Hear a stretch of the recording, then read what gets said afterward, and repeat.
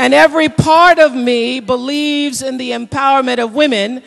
But the truth is, I'm a free woman. With race and gender continuing to take center stage in the battle for the Democratic nomination, Barack Obama deployed a star powered team of women to California, Super Tuesday's biggest prize. I have never had a candidate who inspires me the way people say that my father inspired them.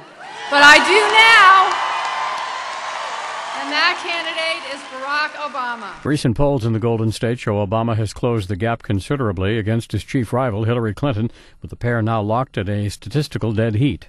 But he still lags well behind when it comes to women, who are expected to make up about 55% of Democratic primary voters. Sunday, he picked up the endorsement of Maria Shriver, the niece of JFK and the wife of California Governor Arnold Schwarzenegger. Schwarzenegger recently threw his muscle behind Republican frontrunner John McCain. We're at the epicenter of change. We can lead.